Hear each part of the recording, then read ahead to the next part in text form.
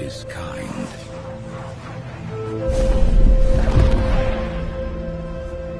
All that remains of a once powerful nation.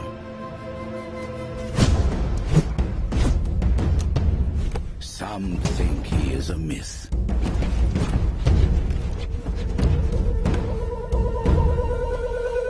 Some believe he is the chosen one to a world at war.